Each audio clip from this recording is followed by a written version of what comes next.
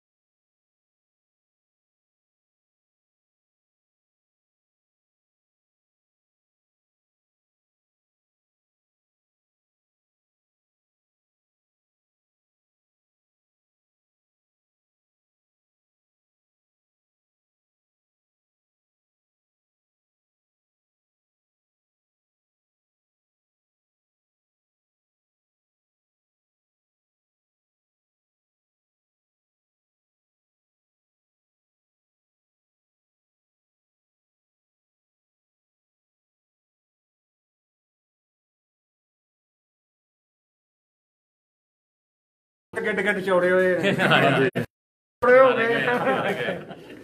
ਹੁਣ ਖਾਦਾ ਸੋੜਿਆ। ਉਸਤਾਦ ਗੁੱਡੂ